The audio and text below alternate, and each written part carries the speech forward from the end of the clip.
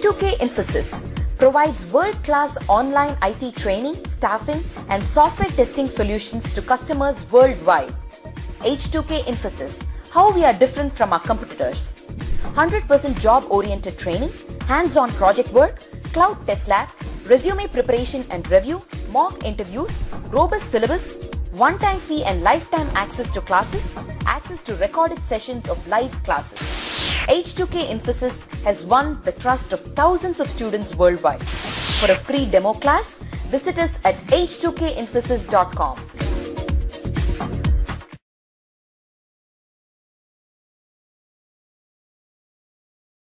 Okay, so I'll quickly summarize for 5 minutes or 10 minutes what we discussed in the previous class and then we'll get started with today's class. So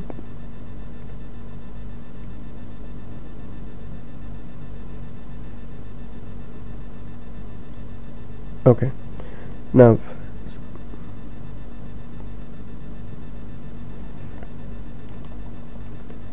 so in the previous class uh, we uh, we discussed on uh, what is how to create a table. So we saw like uh, we need to create a table using uh, create table. And we need to give table name uh, for example employee. And then and then we saw that um, we need to give the column names like emp id and an integer. And if you if the column name like emp name varchar varchar 20 so this is how we normally create a table. And uh, also in the previous class we saw that uh, we saw what is a primary key. So for example so primary key is the unique identifier for for a particular particular row of a table. So so in case uh, so in case if you have um, okay. So in case if we have employee ID employee name so um, and so employee name can like two or more employees can have the same employee name. So in that case your employee ID can play the role of primary key. So primary is primary key is a column using which you can differentiate each row of a table. So uh, so uh, if you take employee table employee ID will be the unique for for each row. So in this case uh, employee ID will can form the primary key. So if you want to make employee ID as a primary key you need to give like this primary key okay. So now uh, the points which we discussed about primary key is so you cannot insert uh, cannot insert null values uh, cannot insert null values for primary key. So so for example when you declare this prime employee id as a primary key so when you try to insert for example insert into employee values and when you try to write for uh, here like uh, null comma uh, you, if you want to give the name like Meghnad. So in this case uh, in this case when you since this employee id is a primary key when you try to execute this query it will throw error. Because a primary key will not allow null values. Okay? And also primary key will not allow duplicate values. Since this is the column which we are using to differentiate other rows you cannot uh, you cannot insert duplicate values. Like for example you cannot add one and then and then again you cannot add uh, you cannot add one for other other employee. Like uh, like you cannot give like this. The moment you insert first record and when you try to insert the second record with the same employee id it will throw error. So a primary key cannot have null values. A primary key will not allow duplicate values. And uh, yeah uh, just a second I'm saying some I'm getting some questions so. So just a second.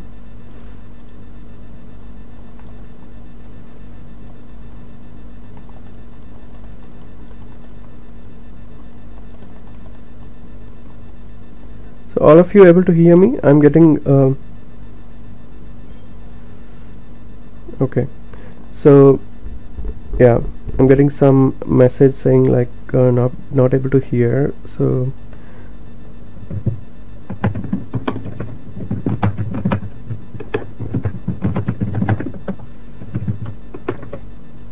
Okay.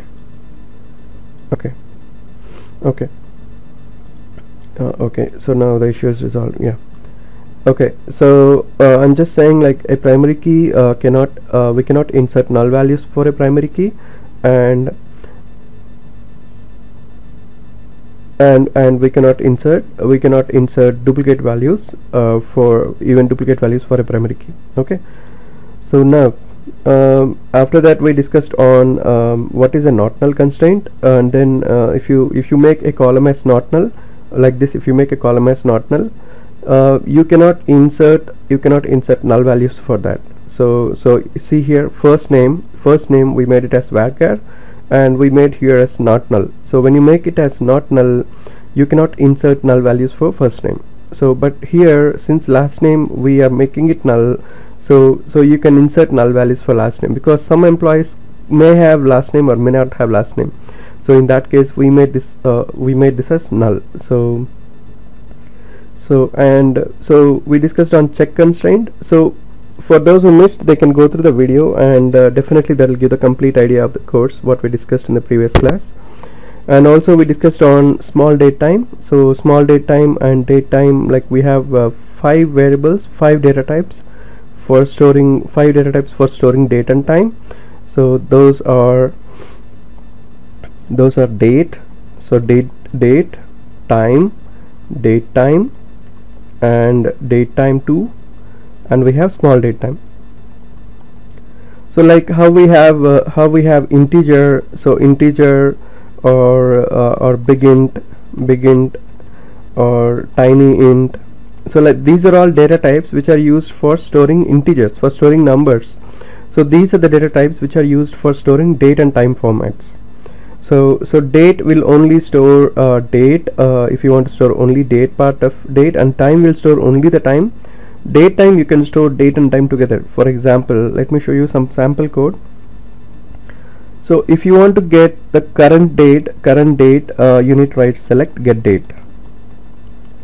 So get date get date is a function. Get date is a function in SQL server which will return you the current date and time. So when I execute this you can see that. So let me connect to the database.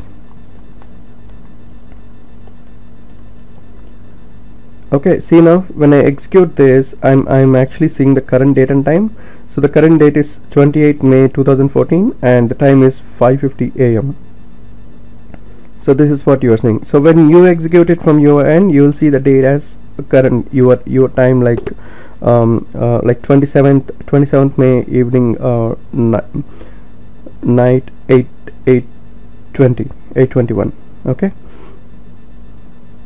Okay so now let's see how to connect to SQL Server. So so I'll close this window and I'll tell you how to connect again. So let me close this. So once you install SQL Server so so all of you uh, when you are done with the installation of SQL Server uh, with the steps which I mentioned um, which I mentioned in in the link which I sent you okay so uh, I'll, I'll just tell quick summer I'll, I'll just tell how to install SQL Server. Uh, that is a common mistake which students are doing now. Uh, so whatever you have SQL Server go to control panel. So if you are seeing any issues with uh, installation of SQL Server go to control panel. And then go to programs and features. So um, you need to uninstall them. So so you need to go to um, programs and features you need to select this and then uninstall those whatever you see. Uh, for example if you see here I'm seeing like this SQL Server 2008 R2 or whatever you are seeing SQL Server try to uninstall them. So right click on them uh, right click and uninstall. Completely uh, you should not be seeing anything related to SQL Server SQL Server 2008 so when you do it uh, for this one uh, when you uninstall for SQL Server 2008 R2 64 bit so this I'm telling for those who are having issues with SQL Server so they need to uninstall uninstall this and do a complete reinstall. So right click on this and uninstall this. Once you are done with uninstalling complete all all the components of SQL Server so go to the link which we provided in um, in the welcome email or or or let me ping in this um, in this chat window. So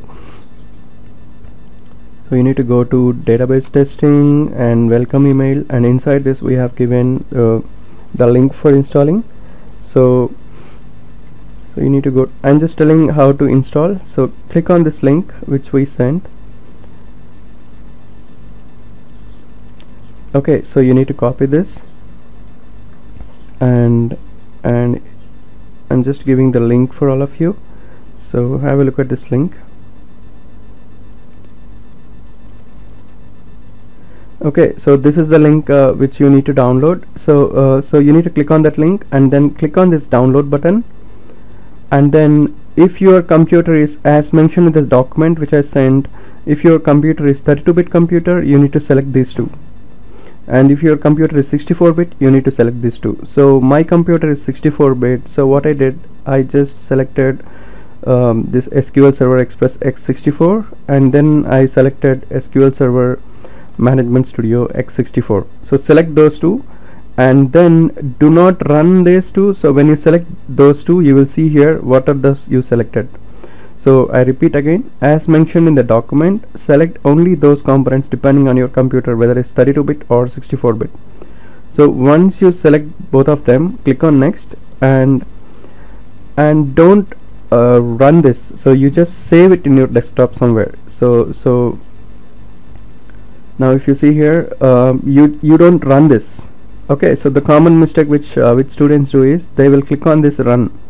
So when they click on run what happens when you click on run is the softwares might not install sequentially. See now it is showing management studio. So I don't want to install management studio first. I want to install SQL Express first. So this is the sequence which you need to install. You need to install SQL Express and then you need to install SQL management studio. Okay so some sometimes students do a common mistake like they will install this and they will try to install this. So when you do that way it will not work for you so you have to install SQL Express first and then you have to install management studio. Okay so if you're having 64 bit install this and then install management studio. So for that what you need to do is you need to click on this one and and do save as. Okay so so I repeat here uh, you need to you need to click on um, this one and this one and you need to save it okay just click on save as. And then and then you can save it somewhere in the desktop. You can save it somewhere in the desktop. Similarly you save the other file. Okay so so when you save both the files somewhere in the desktop or somewhere then you go to that folder you go to that folder and execute both of them. See, see this is also there. And once you save it once you save both of them first first you need to execute uh, you need to execute the this one. First you need to right click on this this file and run as administrator. Right click on this file uh, when you save it in the desktop or in some folder. Right click on this and run as administrator okay? So is my voice breaking or is it clear for all of you? Is my voice is breaking or is it clear?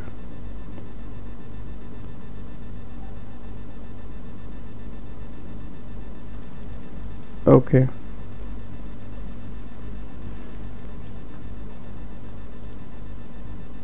Okay, so so that is about installing.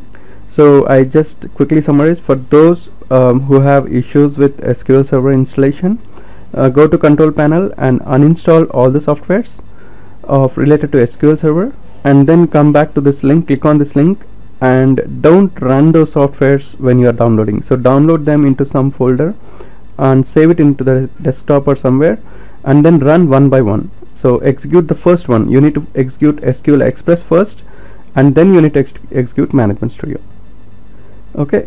Uh, and then you should be able to uh, install successfully. So do these steps and and if you face any issues uh, you can you can just uh, let me know. Okay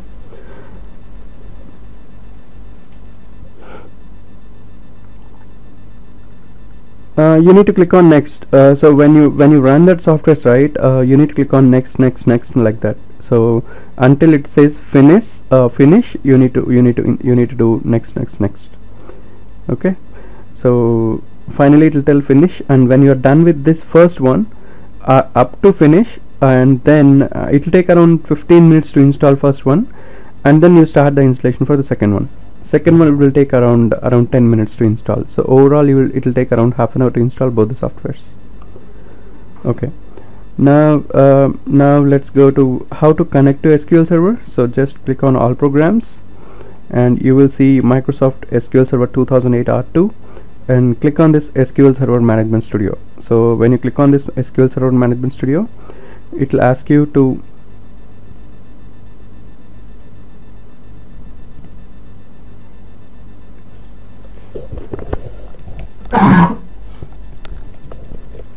sorry.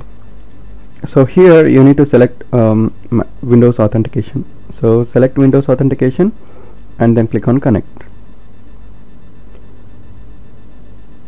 Okay so now when I click on connect yeah. So that's all. When I click on connect I'm I connected to SQL server so here um, here I created a database called DB, DBT 24th match 24th May batch. So you need to click on new query. So for example if I'm disconnected again I can simply click on connect. So so I can click on this uh, for example if I got disconnected if you leave for half an hour or one hour it will get disconnected. So what you can do is again again the same thing. Click on start all programs and then and then you you need to go to Visual Studio R2 and then you can open management studio and and you can connect. Okay or you can you can simply click on this button. You can simply click on this button to connect. So so what I need to do I just need to click on this. And then I need to select OK select Windows authentication click on connect okay and then go to databases and and create a database. Uh, so in the previous class we created a database called DBT 24th May. So you need to create that database. So this is how you need to create a database. So create database database name for example dummy1 so so this is how we need to create this is how we need to create a database. Create database dummy1 so when you create this when you execute this so now when you refresh this databases right click on this refresh it you can see that there is a database called dummy1 okay like that in the previous class I have I have created database called dbt 24th May batch. Okay? Now I am I am uh, I'm getting a question saying like what is SQL server authentication? Okay. So in in SQL Server we have two types of authentication modes. One is Windows authentication and the other one is SQL Server authentication so while installing all of you uh, when you click on next next next while installing you would have selected you would have selected uh, SQL Server authentication I mean Windows authentication. So Windows authentication doesn't require a password because uh, because when you log into a computer when you log into a computer then you are going to log into SQL Server. So when you select Windows authentication that means you are the, you are the authenticated user by Windows. System has already authenticated you using that system you are able to connect to SQL Server. So so when you select Windows authentication here you don't need to enter the password. So when I select Windows authentication I don't need to enter the password. But but when I select SQL Server authentication for example for example I am the sysadmin. So what I need to do I can create another login.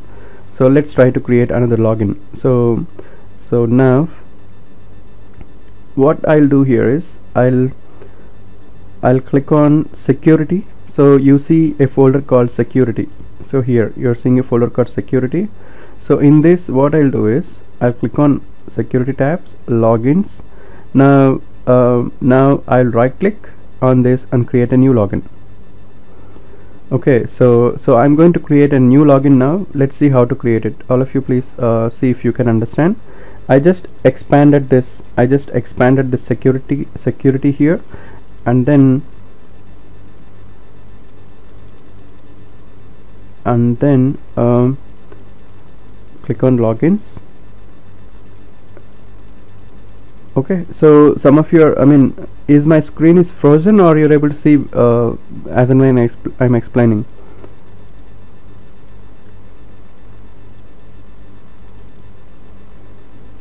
Yeah okay okay fine yeah. So I'm just repeating uh, I'm just saying how to create a login how to create a login. So now you need to expand this so you need to expand this security and you need to click on expand this logins. And now you can right click on this and click on create new login. So when you click on this new login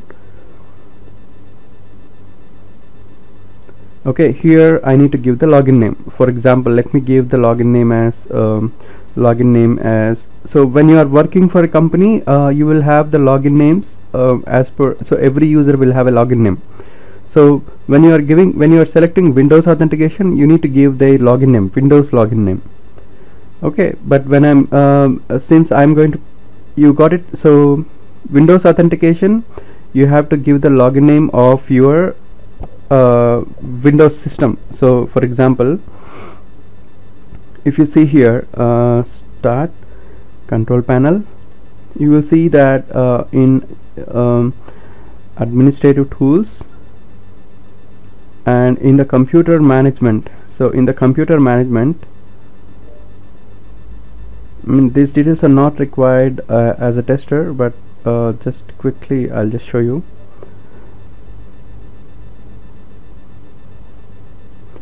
here you will see local users and groups. So here if you see users so these are the users for my computer. So I have a guest user I have Meg6 and I have Megnat and I have ready. So I have these are the users which I have. So when I when I lock my computer uh, or when I log off my computer so I'll see these four users.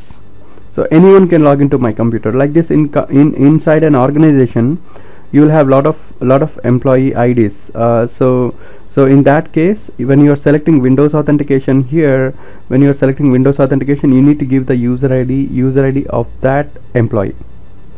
Okay?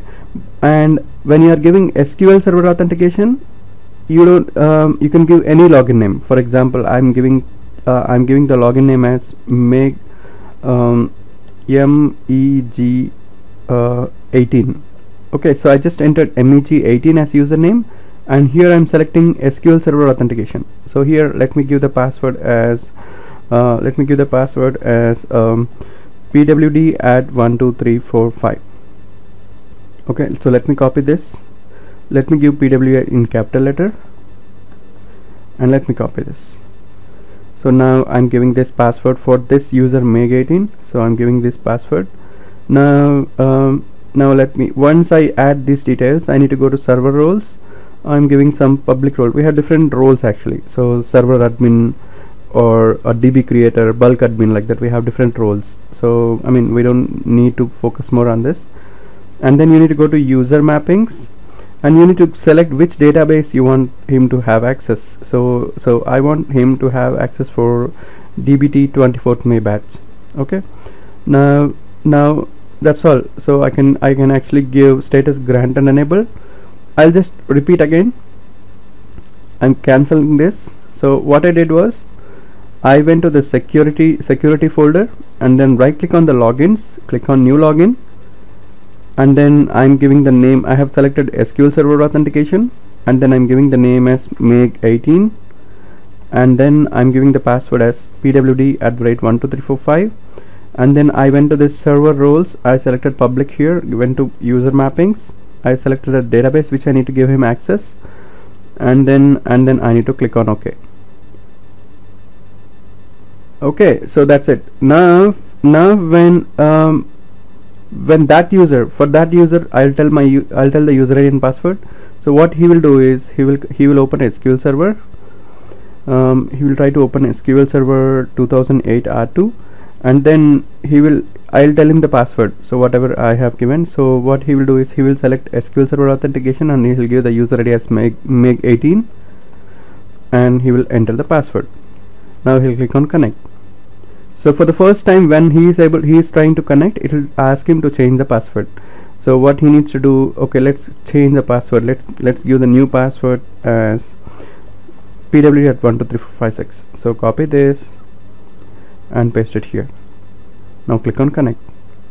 So this is how now if you see here the current user who has connected here is meg18 okay so so he can expand this databases. And since I gave access only for DB2 DB24 May batch and he cannot expand other databases. So when he tries to expand any other database he will get an error saying uh, the database DB testing is not accessible he can only expand this database which we have 24th May batch. Okay and that too he cannot see the tables. See now he is not able to see any tables.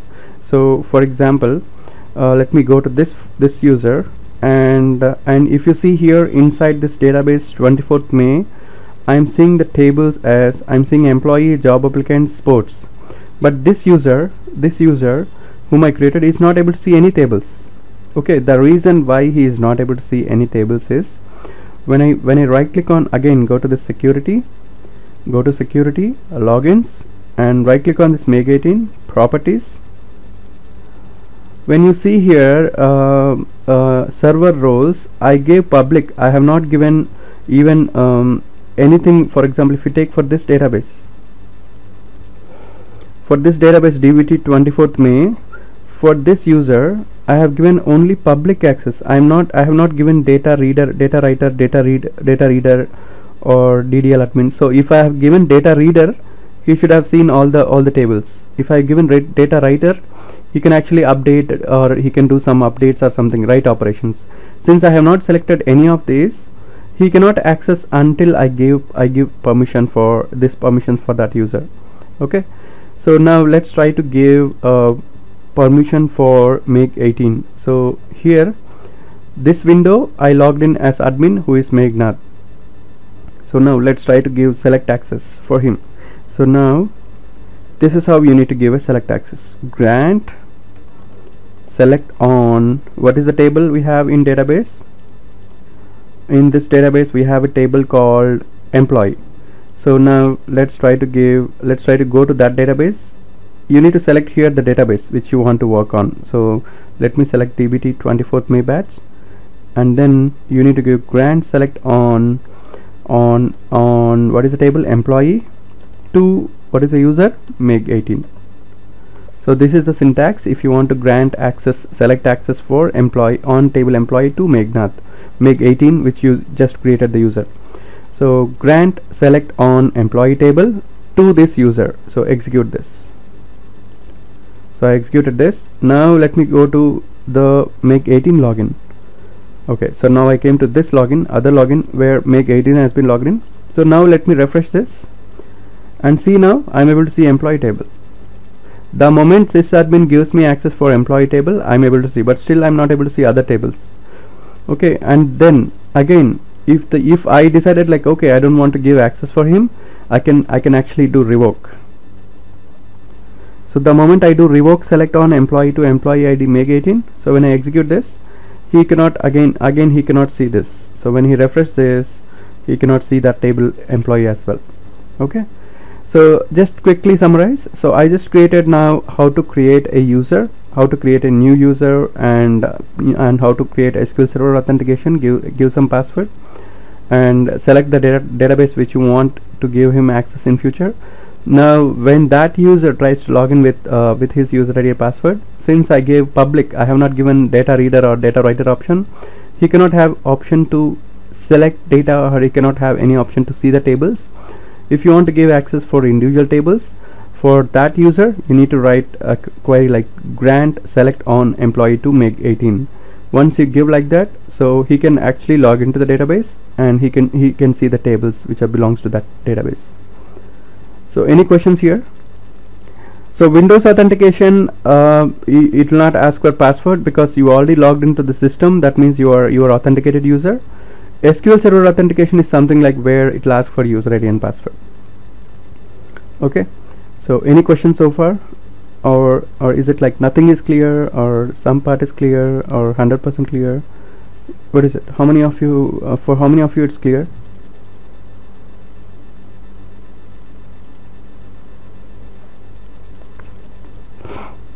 okay. So just to summarize uh, Windows authentication will not ask for Windows authentication will not ask for password. So so now uh, so I'll just show you. So when you try to connect to SQL server so let me open SQL server.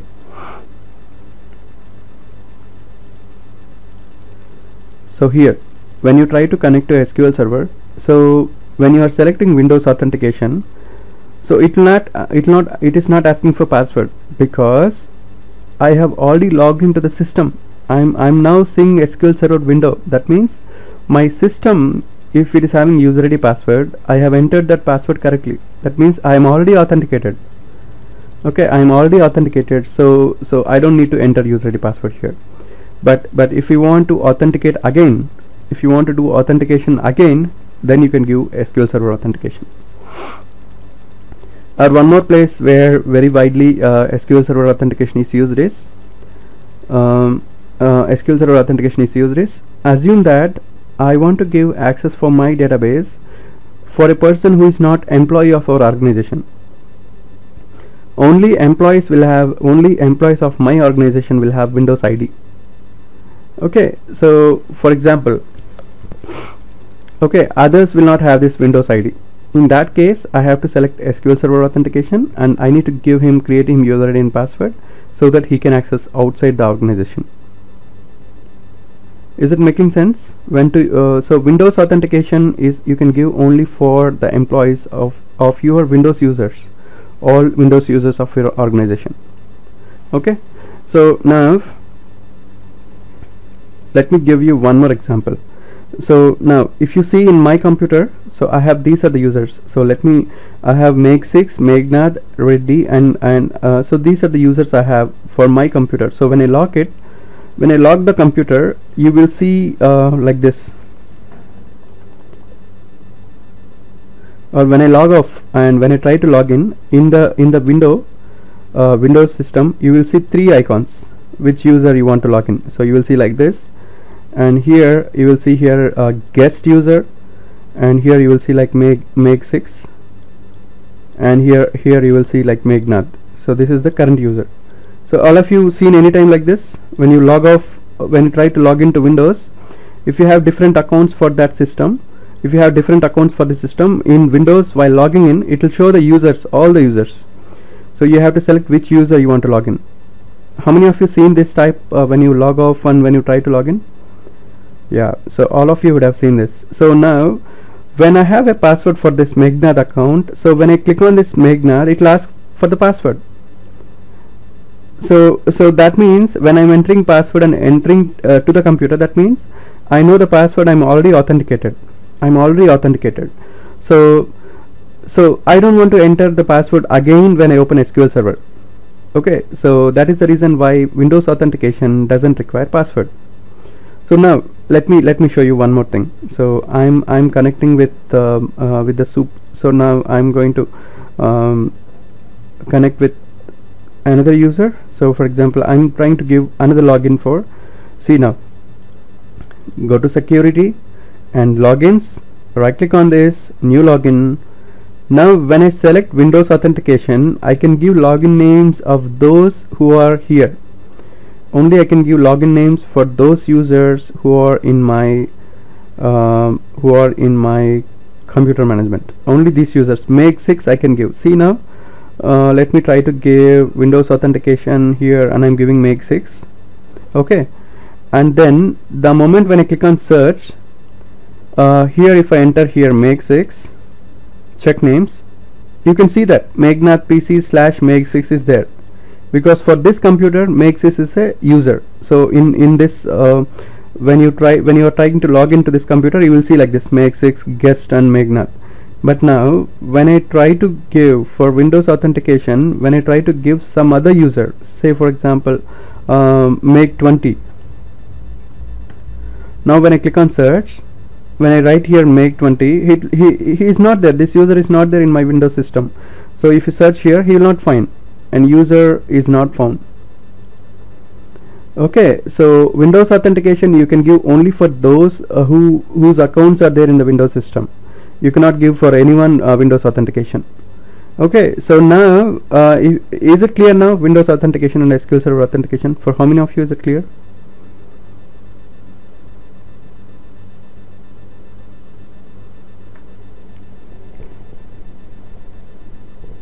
Okay so not seeing the response from all of you. Anyone wants me to tell about Windows authentication? I'll, I'll unmute you so you can take a couple of minutes to explain what is Windows authentication. Who can tell? Just ping me I can tell like that. Anyone?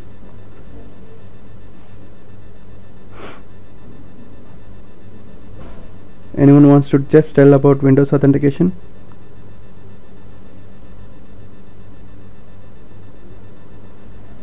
Okay, so no one is uh, comfortable to tell about Windows authentication. Okay, so let me make it still clear. Um, okay, so let me make it still clear about Windows authentication. So when you want to give if the first point, you can give Windows authentication for those who for those user users who are there configured in your Windows machine. If you are an individual, okay. So for individuals, you can give Windows authentication. See here, um, see here. When I when I try to add, uh, for example, when I try to add a user, so right click on this login, new login, and when I when I click on search for example when I click on uh, Meg here and click on search here when I'm searching for example when I'm searching for Meg uh, Meg 6 okay so it is actually searching for Meghnad PC slash Meg 6 if you are working for an organization for example if you are working for Infosys or some company it'll it'll it'll search in the domain.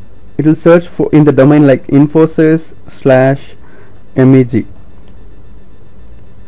so it will search in throughout the organization complete organization active directory windows account and if that user is found it'll it'll click on. It'll it'll come like this. It'll come a a, uh, a line will come under that and it'll show you